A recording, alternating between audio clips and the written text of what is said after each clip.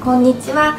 姉上げ派モデルの水原音です。今回はメーベリンのファッションブローパウダーインペンシルです。色が BR の2番になります。値段が1000円になります。で今回のこのペンシルのすごいところが三角カットの芯になってます。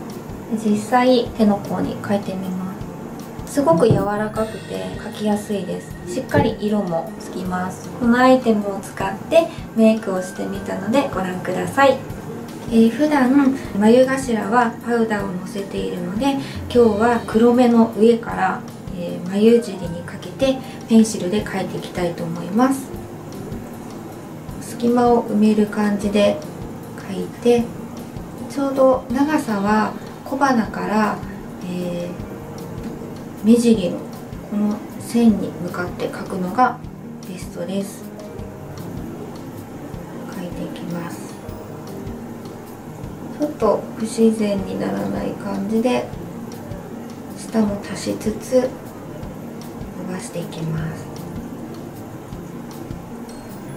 今度はスクリューブラシで、毛流れに沿ってなじませます。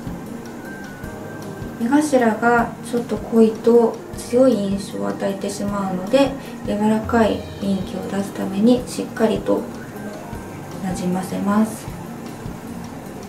眉尻を薄くしちゃうと印象も薄くなってしまうので極力眉毛の真ん中まで整えたら終わりです。完成です。全体で見た感じがこういう感じです。で実際使ってみてペンシルなんですけどすごいパウダーみたくて柔らかい感じに仕上がりました。